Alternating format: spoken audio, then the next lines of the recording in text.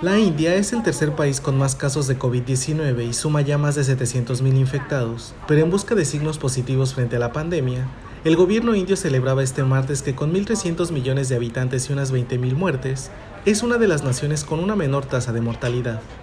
Las autoridades indias destacaban así los datos mundiales de impacto de la pandemia recogidos el lunes por la Organización Mundial de la Salud, en los que la tasa de mortalidad por millón de habitantes en la India era de 14,27 fallecimientos, frente a la media global de 68,29. El ministerio apoyó además los números en los 1.201 hospitales dedicados a la COVID-19 en todo el país, a lo que se suma una política de prueba, rastreo tratamiento, con más de 10 millones de test de coronavirus realizados hasta ahora y una media las últimas semanas de más de 200.000 diarios. Sin embargo, la imagen global que se desprende de la situación actual de la India en lo que se refiere al número de casos no es demasiado alentadora, al ocupar ya el tercer puesto mundial por detrás de Estados Unidos y Brasil, tras haber superado el domingo a Rusia. Pero cuando se mira el porcentaje por millón de habitantes, el país asiático con casi 720.000 infecciones confirmadas, también celebra contar con uno de los índices más bajos ya que según las autoridades indias, los casos de la India por millón de habitantes son 505,37, mientras que el promedio global es de 1.453,25.